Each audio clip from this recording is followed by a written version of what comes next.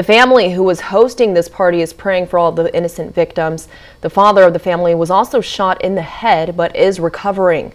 Eyewitness News reporter Jose Gaspar spoke with the family. Jose, I understand that the family is also appealing for an end to the violence. Is that correct? Yes, Mimi, you know, the Wallace family is very remorseful about all this. Obviously, they feel very bad about what happened. Now, this was supposed to have been an event for young people to have a good time at this party. Today, however, the family is left grieving and praying for those 14 victims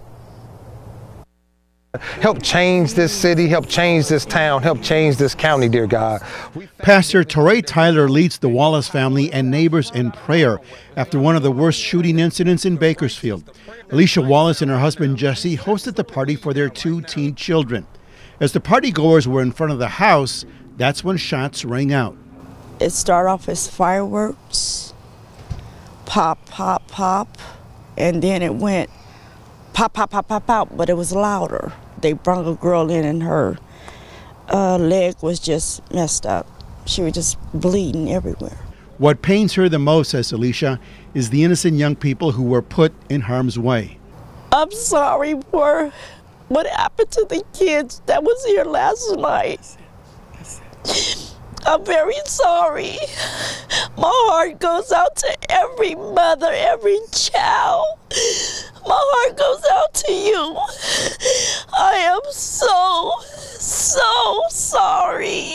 My prayers are with you and your family. When the shots rang out, Alicea's husband, Jesse, was outside trying to disperse the crowd, telling everyone to go home. But Jesse Wallace was shot in the head. It went through the ear and came out and hit a bone and ricocheted out. So it, he has two holes, one by his ear, and then the other one's coming out from the back. Miraculously, the husband is still alive. And right now, dear God, we declare that there won't be any retaliation. The family, neighbors pray for an end to the violence that can strike anywhere. And they have a message for the persons responsible for the shootings. It was innocent kids at this party. Innocent kids. They didn't do nothing to you. Nothing.